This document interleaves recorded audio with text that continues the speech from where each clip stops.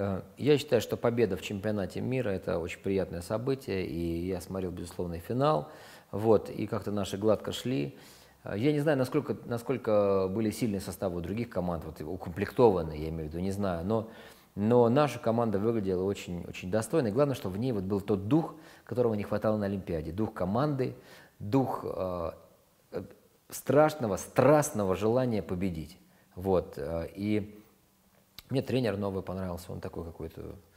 э, эмоциональный, вот, потому что должен быть кто-то такой тренер, кто заводит, кто, кто ребят вот как-то ну, настраивает правильно, потому что настрой он имеет большое значение. Вот, поэтому я очень рад, что, э, ну и как бы вот эта победа, она придала, в очередной раз придала и, и нам, всем россиянам, так сказать, духа и гордости.